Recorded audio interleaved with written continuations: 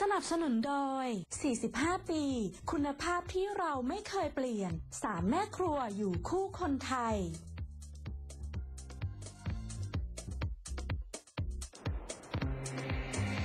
สวัสดีครับ สวัสดีค่ะ ได้เวลาอัปเดตแง่มุมธุรกิจข้อคิดการตลาดไม่พลาดเทรนด์เทคโนโลยีนะคะ วันนี้อยู่กับเพนพัสวีค่ะ ครับกับป๋องอติชาติครับ อืม วันนี้นะครับมีคนข้างๆผมก็ไปงานรถมาอ้าวทำไมไม่เอามาด้วยหวาย รถอะรถอะที่เขาเปิดตัวรุ่นใหม่ๆอะเอามาฝากท่านผู้ชมหรือเปล่า โมเดลยังซื้อไม่ได้เลยอะไม่ต้องรถกันใหญ่ๆไม่จะเอาภาพมาเพิ่มมาฝากเอาบรรยากาศมาฝากท่านผู้ชมเออ เรารับปากกับคุณผู้ชมแล้วเราต้องทำตามสัญญาฮะใช่ไหมขอเวลานานไหม ไม่นานเพราะว่าไปแป๊บเดียวแล้วรีบกลับมาเพราะมัวแต่รีลาอยู่ในงานเนี่ยไม่ทันแน่ฮะฮะ ๆนะเพราะว่าเปิดตัวไปเรียบร้อยนะคะสำหรับงานมหกรรมยานยนต์ค่ะ หรือว่า Motor Expo 2019คือวันนี้เนี่ยเป็นรอบของสื่อมวลชนและครัผู้บ VIP ดังนั้นเราก็เลยนำภาพเบื้องต้นนะมาฝากคุณผู้ชมก่อนนะคะว่าโปรเด็ดๆนี่เรื่องจริงนะ คือรถรุ่นใหม่ๆเนี่ยแต่ละค่ายเนี่ยเขาก็จะมีการออกตลอดทั้งปีเนี่ยแหละใช่สิอยู่ใช่สิแล้วใช่ไหมฮะแต่ความสำคัญของในงาน Motor Expo ในปีนี้นะเขาบอกว่าโปรเขาเด็ดจริง ๆ นะ แล้วก็แต่ละค่ายก็อืมก็มีรถอะไรใหม่ ๆ น่าสนใจเท่าไหร่ฮะจ๊ะปีนี้เปิดตัวเยอะเปิดตัวเยอะนะครับเปิดตัวเยอะสำหรับรุ่นของรถยนต์นะครับอันนี้มาดูกันว่ามีรุ่นไหนที่ว้าวๆกันบ้างนะครับ แล้วก็โปรเป็นยังไงกันบ้างครับ อืม ก็เมื่อช่วงเช้าเนี่ยคุณเพนไปมาเองเลย เดินมาเองเลยนะฮะ แต่ไม่ได้รถกลับมานะ ก็เป็นมหกรรมยานยนต์ครั้งที่ 36 ครับ Motor Expo 2019 อย่างที่บอกวันนี้เป็นรอบ VIP กับสื่อมวลชนนะครับ ปีนี้จัดภายใต้แนวคิดโลดแล่นทันใดทะยานไปด้วยกัน ก็มีผู้ผลิตรถยนต์ 34 แบรนด์ รถจักรยานยนต์ 26 แบรนด์จาก 9 ประเทศ มีรถรุ่นใหม่ๆ มาเปิดตัวด้วยนะครับ ทั้งค่ายรถยนต์ญี่ปุ่น แล้วก็มีรถจากค่ายยุโรปมาเปิดตัวกันในงานนี้ด้วยนะฮะ อย่างเพนไปต้องไปไหน ยญี่ปุ่น อันนี้เขาเขามั่นใจคิดว่าถูกด้วย ถูกด้วย ครับจริง ไปเริ่มกันที่ Honda ดีกว่าครับนะฮะ Honda City คุณผู้ชมนะคะเจเนเรชันที่ 5 ของ City เป็นรถยอดนิยมจากค่าย Honda นะคะ ที่ถือกำเนิดขึ้นเพื่อประเทศไทย เพราะอะไรเพราะว่าเขาเปิดตัวครั้งแรกในโลกที่เมืองไทย ฮะ เมื่อไม่กี่วันที่ผ่านมาคุณหนองคุณผู้ชมนะคะ มากับคุ้มพลังใหม่คือเครื่องยนต์ 1.0 ลิตรเทอร์โบ 122 แรงม้า แรงแบตหยุดแรงบิดเนี่ยอยู่ที่ 173 นิวตันเมตร ภายใต้โครงการ Eco Car Phase 2นั่นเองนะคะ ส่งกำลังด้วยเกียร์อัตโนมัติแบบ CVT 7 speed ประหยัดน้ำมัน ยุคนี้สำคัญนะฮะเรื่องของประหยัดน้ำมันถึง 23.8 กิโลเมตรต่อลิตรค่ะ ย้ำเลยนะบอกว่าแรงแล้วก็ประหยัดที่สุดในหมวดของ Eco Car ณเวลานี้ สนนราคาค่ะก็ไม่ได้แพงมากฮะหรือเปล่าแต่ก็ไม่ได้ถูกนะคะ อยู่ที่ประมาณ 5 7 0 0 0ถึง7 3 0 0 ครับ ก็ตัวนี้ที่เปิดมาซิตี้นี่ต้องบอกว่าชนกับนิสสันอเมร่าที่เปิดมาวันก่อนเลยนะครับค่ะ โดยตอนนี้ในเว็บไซต์ในเพจที่เกี่ยวกับรถยนต์เนี่ย กำลังถกเถียงกันสนุกเลยระหว่าง 2 รุ่นนี้อะสวย ส่วนค่ายนี้ผมชอบฮะ ตัวนี้รุ่นนี้ด้วยซูซูกิครับไฮไลท์เขาคือ ดูเหมือนไม่ค่อยเหมาะกับคุณเลยอะอะผมชอบรถเล็ก ผิดหรือเปล่านะ Suzuki Swift GT Sport Edition ครับ รุ่นนี้แต่งพิเศษนะครับ เป็นสเกิร์ตรอบคัน แล้วก็มีสปอยเลอร์หลังด้วยเสาอากาศนะมีครีบฉลามแถมให้ด้วยนะครับ แล้วก็มีเทคโนโลยีหัวฉีดคู่ Dual Jet ครับ ตอบสนองการขับขี่เขาบอกโอเคเลยล่ะ แล้วก็มีแพลตฟอร์มใหม่มาด้วยนะครับทำให้รถเนี่ยมีน้ำหนักน้อยลง แต่ว่ายังคงความแข็งแกร่งแล้วก็ประหยัดน้ำมัน ราคานี่โอ้โหเริ่มต้นที่ 541,000 บาทนะครับ แต่ขายจำนวนจำกัดสำหรับรุ่นพิเศษตัวนี้นะฮะเป็นใช่ Sport Edition ครับ ใช่แล้วก็คือพูดง่ายตกแต่งสเกิร์ตรอบคันอ่าใช่นะฮะคือกระฉับกระเฉงอ่าประหยัดน้ำมัน ครับแล้วก็เป็นดูเดี๋ยวนี้มันต้องมาด้วยนะฮะมารถด้วยราคาเดี๋ยวนี้ต้องประหยัดน้ำมันด้วย อ่านะคะไปต่อกันที่บูธ MG กันดีกว่าครับ นะคะ MG นี่หลังๆมาแรงนะ มาแรงนะ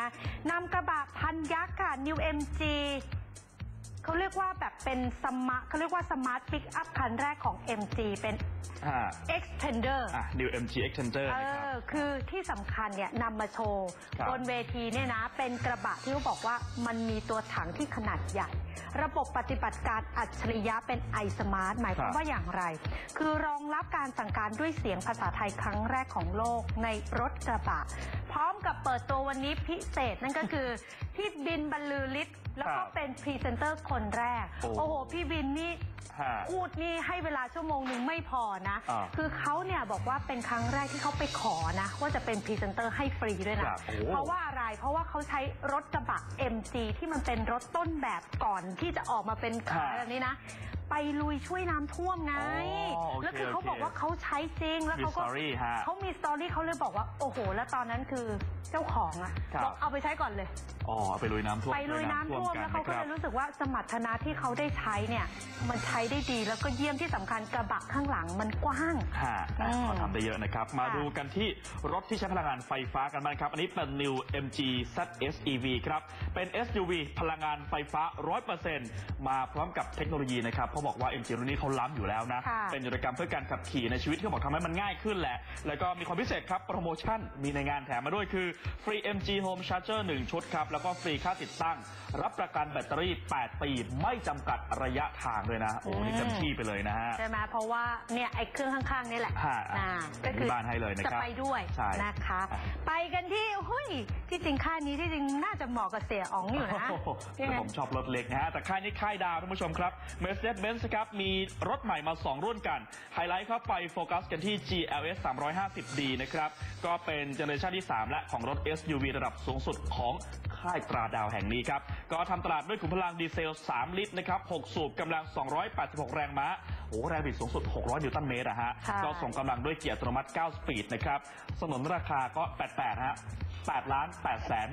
59,000 บาทฮะถึงบอกไงว่ามันดูเหมาะกับเสียอ๋องไงครับอ่าจใช่น ใช่จริงๆก็มีรถรุ่นคล้ายๆกันนะฮะส่งมาค่ะในห้องไลน์เหมือนกันก็ตอนนั้น 17 ล้านอะก็ใช่ไหมเป็นจิ๊บไงก็คือสวยๆฮะ คือเนี่ยบรรยากาศเนี่ยก็ที่จริงภายในงานนี่ดูหรูหรานะ ฮะแล้ววันนี้เนี่ยมีคุณชมพู่อารยาเอฮาเกตอ๋อนะไปด้วยครับบูธอื่นเขาจะมีพิตตี้อะไรไม่รู้แต่บูธเบนซ์เนี่ยนะ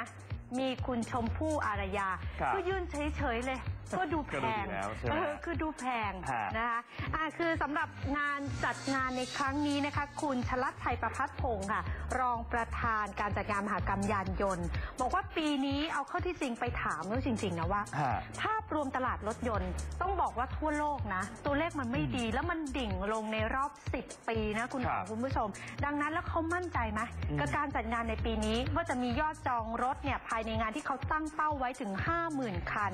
รถจักรกยานยนต์ 9,000 คัน แล้วก็บอกว่าจะมีผู้เข้าเยี่ยมชมงานกว่าล้าน6แสนคน สามารถสร้างเม็ดเงินสะพัดได้ในงานมากกว่า 56,000 ล้านบาท ยังไงก็ยังคงมั่นใจอยู่อะไรที่สร้างความมั่นใจไปฟังกันค่ะ หรับการที่เราดูบรรยากาศปีนี้นะครับ ผมก็คิดว่าบรรยากาศของการเปิดตัวรถที่เยอะขนาดนี้ แล้วก็แคมเปญที่เขาออกมาเนี่ยสู้สู้สู้กันมากเลยทีเดียวเนี่ยก็น่าจะเป็นแรงขับเคลื่อนที่ทำให้ตัวเลขของการขายรถในปลายปีเนี่ยกระเตื้องขึ้นนะครับ ก็หลังจากผ่านไปครึ่งงานเนี่ยคงต้องมาดูกันประเมินกันอีกทีว่าว่าเป็นไปอย่างที่เราคาดการไว้หรือเปล่าครับสำหรับตัวเลขปีนี้เนี่ยเราประเมินไว้จากปีที่แล้วบวกประมาณสักห้าเปอร์เซ็นต์นะครับก็น่าจะมีความเป็นไปได้เนื่องจากว่าจำนวนรถที่เราเห็นที่มาเปิดในงานเนี่ยมีความน่าสนใจสูง แล้วก็เป็นรถที่ราคาไม่ไม่สูงมากนักเอื้อมถึงสำหรับคนทั่วไปครับ ยืนยันว่าหลายคนน่าจะรองานนี้ เพราะถือว่าฮะเป็นงานใหญ่ปลายปีนะคะสำหรับ Motor Expo ครั้งนี้จัดขึ้น 36 ครั้งที่ 36 แล้วนะคะไปกันได้ค่ะ เริ่ม 29 พฤศจิกายน ยาวไปถึง 10 ธันวาคมนะคะที่ Impact เมืองทองธานี อะไปดูกันได้ครับส่งท้ายปลายปีกันแบบนี้ และที่สำคัญปีนี้น่าสนใจตรงที่ หลายยี่ห้อเปิดรถรุ่นใหม่ออกมาด้วยนะครับไม่จะเป็นเปิดตัวคือเป็นการเปลี่ยนโฉมไปเลยหรือแม้กระทั่งค่ะ การ manage change เองก็ตามเดี๋ยวต้องรอดูว่าผลจะเป็นยังไงเปิดตัวมาแล้วเนี่ยตลาดรับหรือเปล่านะครับพูดถึงเรื่องรถอะเบรกนี้คุยกันเรื่องรถยาวๆเลยก็แล้วกันครับ พาไปดูกันที่ออดี้ฮะเป็นรถหรูเลยนะครับค่ะแต่ถ้าตอนนี้